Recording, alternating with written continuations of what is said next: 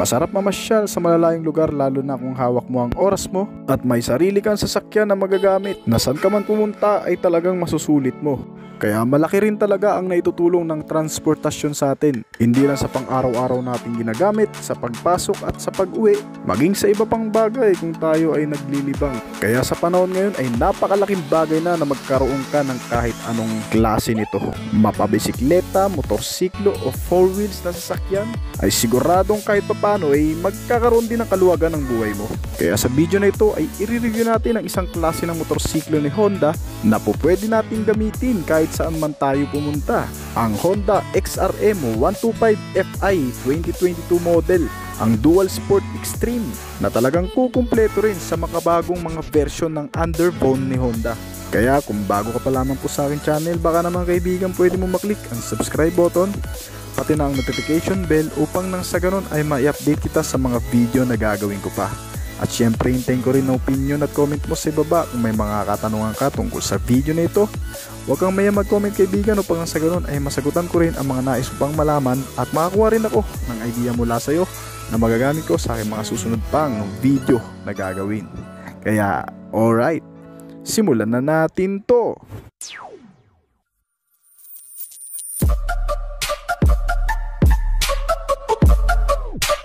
Isang makabagong motorsiklo na napaka-aggressive ng dating hindi lamang sa estilo ng pagkakagawa, pati na rin sa pag-upo mo dito na talagang mapipil mo ang pagiging isang ganap na rider. Ang mini extreme bike na pupwede rin talaga sa pangmabilisang lakad. Kung ikaw ay mamamalengke lang, papasok ng trabaho, tapos medyo tinanghali ka ng gising, o kaya naman naiwan ka ng mga kasama mo sa lakad nyo ay talagang makakahabol ka sa lahat ng oras ng walang hassle. Sa figure pa lang ng ganitong klaseng motorsiklo ay makikita mo na ang presence na talagang sasabak sa matinding takbuhan. Kaya kung mapapansin din natin, ang motorsiklong ito ay madalas ginagamit din ng mga uniform personnel tulad ng mga pulis na bagay na bagay din naman kasi nga pwede rin talagang panghabulan ang motorsiklong ito. And at the same time, mapapansin din natin ang design nitong nasa video natin. May combination ng patig.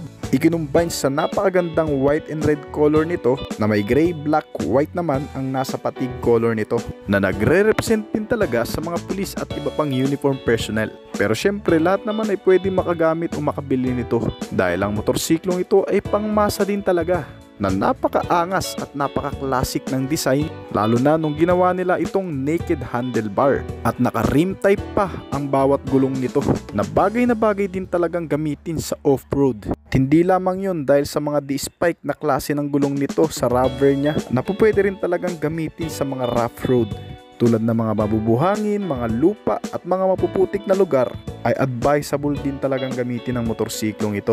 Dahil na rin siguro sa napakagaang nito kaya ganitong klase rin ng gulong ang inilagay dito.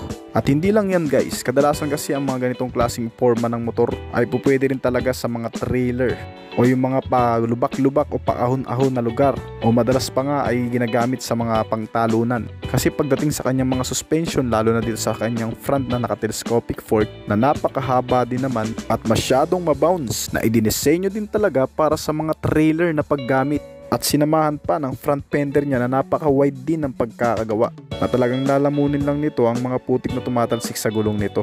Kaya napaka-advisable din talagang gamitin ng mga pulis ito kung sakali. Halimbawa na lang kung may hinahabol sila at pumasok sa mga iski-iskinita at hindi maayos ang mga daanan na madali nilang mamamaniobra ang ganitong klaseng motor. Bukod kasi sa napakagaang dalhin ay kakayanin din talaga ng motorsiklong ito ang anumang klaseng daanan. Kaya napaka-solid din talaga ng gamit ng motorsiklong ito. Dahil napaka-classic at napaka-simpleng design nga lang pero pwede mo namang gamitin sa kahit anumang bagay. Pagdating nga pala sa engine specs nito, meron itong 4-stroke at 1-cylinder na naka-single overhead camshaft at naka-air-cooled na cooling system pa na may displacement na 125 cubic centimeter at may maximum power na 9.5 horsepower sa kada 7,500 revolution per minute habang ang maximum torque naman nito ay 9.55 Nm sa kada 6,500 revolution per minute of torque at ang drive type nito ay naka-chain drive na may transmission type na manual at gearbox na 4-speed. Pagdating naman sa chassis and suspension nito, ang front suspension nito ay naka-telescopic fork habang ang rear suspension naman nito ay naka-side wing na may dual shock at coil spring. At pagdating naman sa wheel and tires, ang front tire size nito ay 70 by 90 R17 habang ang rear tire size naman ay 80 by 90 R17 na parehong naka-radial tube at alloy rim type. At itong bagong Honda XRM 2022 model ay naka PGM FI na rin ang fuel system nito. So ibig sabihin ay napakatipid na rin ito kumonsumo ng gasolina. Bukod sa napakagaan, napakadaling imaniobra at napaka-convenient gamitin sa urbanized city ay dinagdagan pa ng tipid nito kumonsumo ng gasolina. Para ka lang siguro nagdala ng e-bike na may motor at napakalakas tumakbo kaya upgraded to guys. At hindi ka na rin mangangamba sa matutubig na lugar bagamat naka-FI to dahil ang battery nito ay naka-elevated na sa ilalim ng upuan na nasa loob ng compartment storage nito. At syempre ang advantage ng mga ganitong klaseng motor ay may dalawang klaseng starting option, ang push start button at ang kicker na hindi ka rin talagang mangangamba na malobat ka sa daanan kasi pwede mo pa rin naman ma-start to gamit lang ang kicker. So napakaganda na rin talagang gamitin itong motosiklong ito. Kung gagamitin mo sa pang araw-araw ay talagang panalo na. Ang fuel tank nito na may 3.9 liters na may average fuel consumption na 50 km per liter o higit pa. Lalo na na naging FI2 ay mas talagang tumipid sa konsumo ng gasolina ang motorsiklong ito. Dahil nung nakadecarb pa ito ay marami nang nagsasabi na napakatipid na nito sa gasolina. So ano pa ngayon na naka-FI na. At sa dimensioning capacity naman, syempre pwedeng sakyan ng dalawang tao. At kapag ikaw naman ay mag-change oil, may oil tank capacity lang ito na 0.9 liter. At pagdating naman sa wheelbase nito, meron itong 1239mm habang ang ground clearance nito ay 145mm. At sa curb weight naman nito o kabuang timbang ay nasa 102 kg na po pwede ring bumuhat ng hanggang 60 kg o higit pa.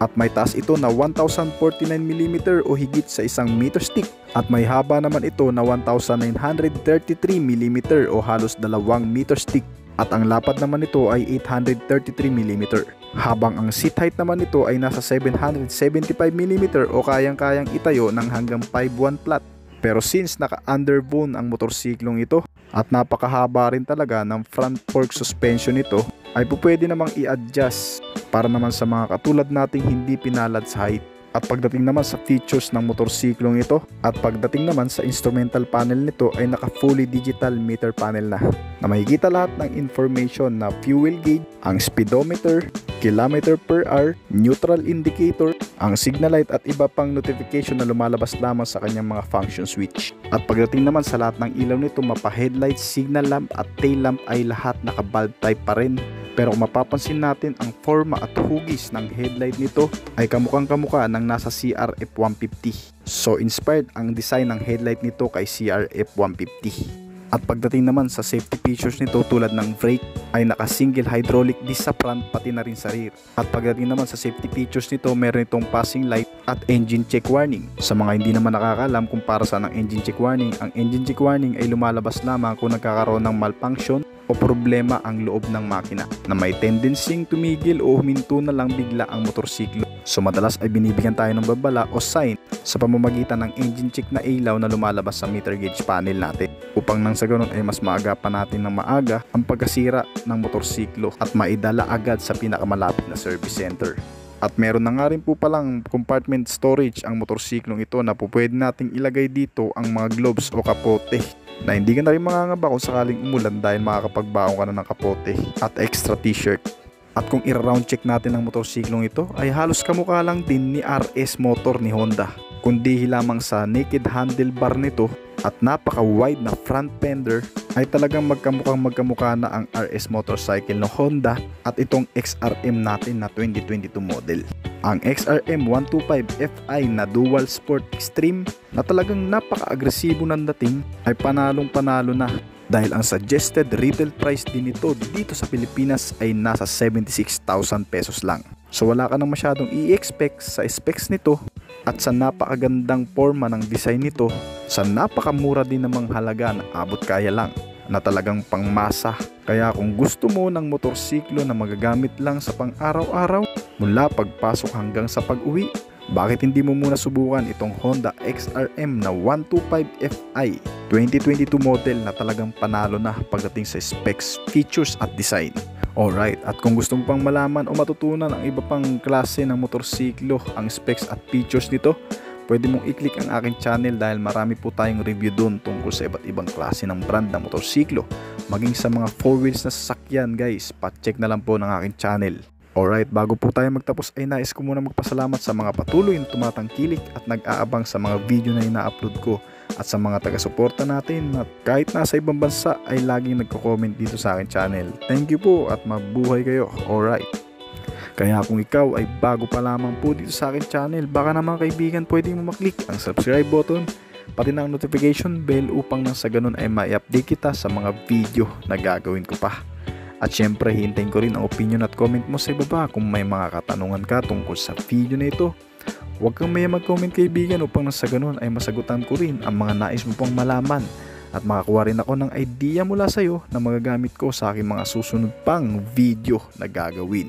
At kung nagustuhan mo ang video na ito, baka naman pwedeng makahingi ng isang thumbs up dyan o like kaibigan upang nasa ganun ay mas mag-improve pa ang channel na to. Alright, this is of this collection. Thank you.